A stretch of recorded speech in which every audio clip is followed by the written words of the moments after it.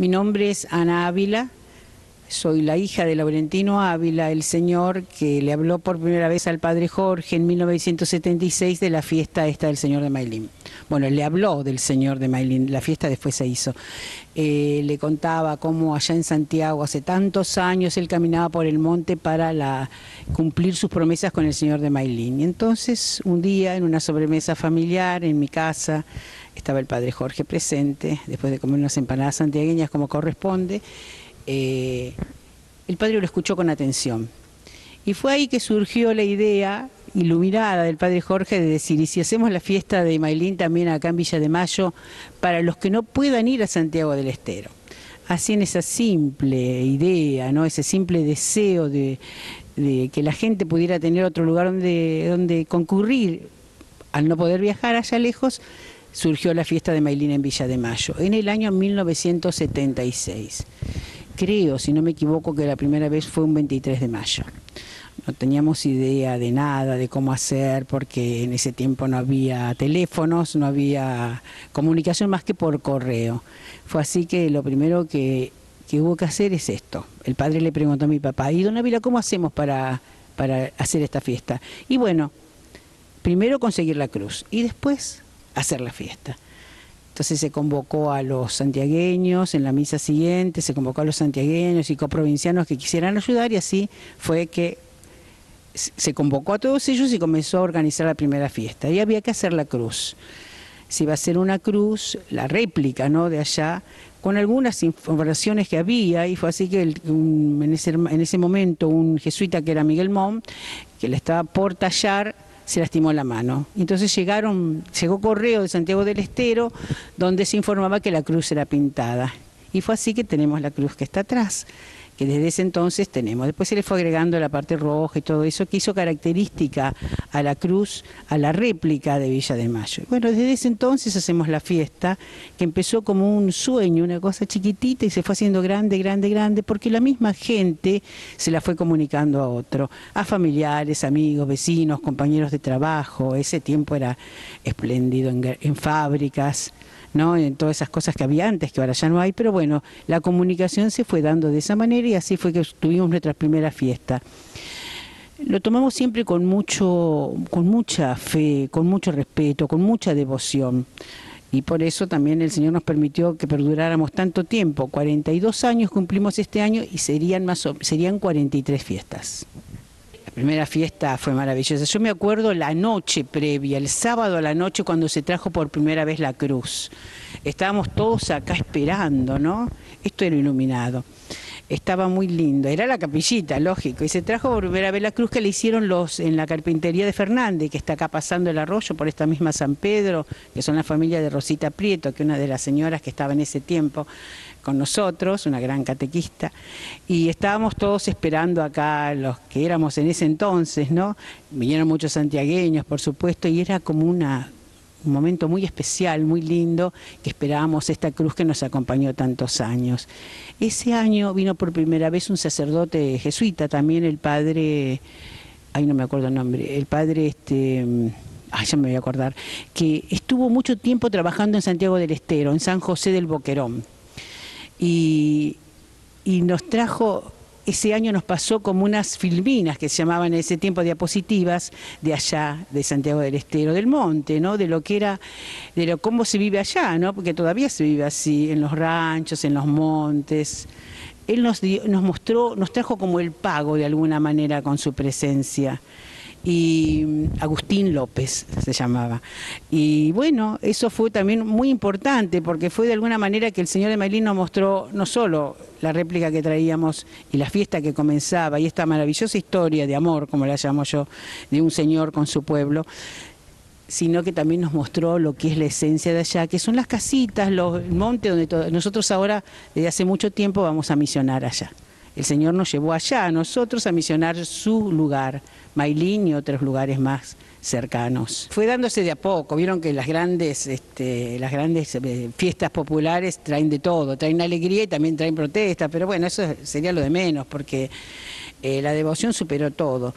El verdadero milagro, porque este señor se lo llama señor, al, este Jesús, a esta cruz del, Jesucristo que aparece en el monte, en un árbol, en el algarrobo, se lo llama señor de los milagros de Mailín. ¿Por qué? Empezó a hacer como milagro, la gente le pedía, entonces señor de los milagros. Y Mailín porque era el lugar donde apareció. Y claro, este, eso fue también acá muy importante, porque mucha gente ya tomó, no puede ir a Santiago, bueno, venimos acá. Pero obvio, no solamente está en Villa de Mayo, hay muchos lugares más donde está la devoción ahora en estos años, en Morón Sur, en Florencio Varela, en, por, por, el sur, por La Plata, hay una gran devoción. Así que se fue multiplicando la devoción en pequeños, pequeños lugares, porque el santiagueño te haya arraigado en sí, adentro de su corazón, esta devoción maravillosa de su Señor de Mailín, como lo llaman. Nosotros hemos crecido mucho, eh, está bien que en cuarenta y pico de años eh, falleció mucha gente, ¿no? De los, de los precursores. Pero fuimos creciendo mucho porque crecimos en lo que es la seriedad con que nosotros nos tomamos y el amor con que nos tomamos esta devoción. Lo que te dije recién, que fuimos al monte santiagueño a misionar, que nadie había ido hasta ese momento, hace treinta y pico de años que misionamos en Santiago del Estero. Después se recuperó la novena del Señor de Mailín, el padre la recuperó y recuperó a la señora autora de la novena, que era María Eladia de Fontana Rosa.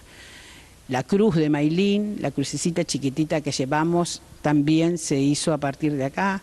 Eh, hace 34 años vimos que esa novenita que teníamos para rezar la teníamos que rezar en comunidad con otra gente y se creó lo que se llama nuestra novena rezada juntos donde cada año le poníamos un nombre diferente al Señor de Mailín, un nombre como un agregado, eh, fe de tu pueblo, misericordia de tu pueblo, manantial de agua viva, fruto de María, y este año se llama querencia de tu pueblo.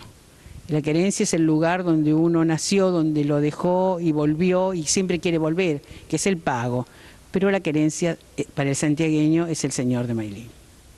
Laurentino Ávila nos dejó esto y lo tenemos que seguir. Ahora tampoco está el padre Jorge porque los, jesuitas dejaron este lugar, entonces están los, padres diocesanos, estamos trabajando con el padre Silvio. Y es el legado tanto de mi papá como del, padre Jorge, ¿no? de Laurentino y del padre Jorge Seibol. Y nosotros seguimos trabajando, es mi tarea, lo que tengo que seguir, como la lectura, yo hago las cosas de mi padre, ¿no? Bueno, nosotros seguimos haciendo esto con mucho amor y con mucha seriedad y con mucho compromiso. Hay un año que nos marcó mucho a todos, que fue el año que se, nos robaron la cruz, esta cruz la robaron. Eh, ahora no me acuerdo el año ahora, pero este, desapareció la cruz, lo robaron, robaron cosas y se llevaron la cruz. Y la fiesta no se pudo, no estaba la cruz para la fiesta. Entonces se pintó un cuadro acá, el señor Pellegrini, un pintor que tenemos que tiene el Museo da Vinci, acá en de Mayo, por la calle Sucre, él pintó un cuadro. Y ese cuadro se puso detrás, donde es la parte roja, el paño rojo, adelante. Muchos no se dieron cuenta, los días estuve indagando eso y muchos no se dieron cuenta que faltaba la cruz, porque hubiera sido muy, muy triste. Ese fue un año impactante, que fue diferente, fue, fue muy especial, porque además se corrían rumores de que la vendían la cruz en pedacitos, de que en el arroyo estaba tirada y todas cosas así, ¿viste? Hasta que después las mujeres organizaron una noche de oración para esperando que vuelva a la cruz. Se hizo esa noche de oración acá y apareció la cruz al poco, a los pocos días, por una justamente una estampa que hicieron los fotógrafos nuestros, Chacho, Susana Jorge, una estampa muy linda donde se veía el señor de Mailín, porque ese era la primera vez que nos visitaba la Virgen de Sumampa, de allá, de nuestra capilla. La Virgen de Sumampa y bueno, la iglesia de Mailín vieja, eh, vieja, perdón, la iglesia de Mailín de allá. Entonces un señor vio, que recibió esa estampa, vio esa imagen y dijo, esta imagen yo la vi en tal lado, en una casa de compra y bueno, así, hay una anécdota de eso, pero bueno, no viene al caso. Así recuperamos la cruz. fue un año muy especial. Y hubo otros años también especiales, porque nos tuvo mi papá, y después de mucha gente querida que perdimos, y que bueno, ellos están también con nosotros, de alguna manera. Tenemos un retoño del árbol de Mailín. Del árbol santo, del taco, que sería en quichua algarrobo. Y desde ese entonces este, nos acompaña un retoño del árbol que creció hermoso ahí al frente de la plaza. En general para la fiesta lo cercamos, ahí están las mujeres que dan la información para bautismos y misas, y después está el grupo misionero que muestra fotos y todos los trabajos que hacemos en la misión. También tenemos un año, hace muchísimos años, hubo una tormenta muy grande que casi destruyó el, el algarrobo santo, ¿no? Como lo llaman allá. Y bueno, no llegó a destruirlo, floreció de nuevo.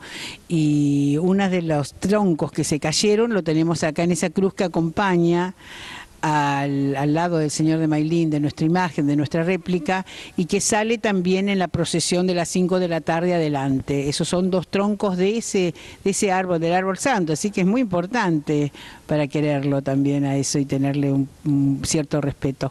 Y estamos con mucha expectativa porque es un año muy especial, es la primera fiesta que no va a estar el Padre Jorge acá, porque va a ir a Santiago del Estero, si Dios quiere, y bueno, estamos eh, con una renovación y acompañando con muchos también con mucho amor a, esta nueva etapa.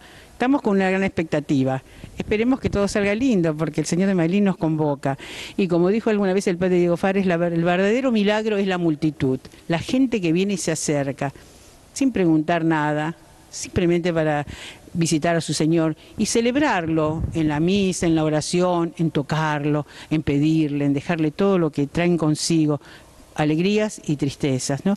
Y en la fiesta, la fiesta donde hay de todo, venta de empanadas, todas esas cosas que hacen a una fiesta popular, el escenario de la música y la plaza.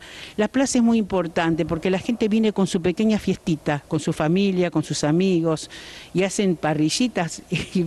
es muy lindo, eso es algo que nunca se tiene que perder porque ellos hacen cada uno su propia fiesta.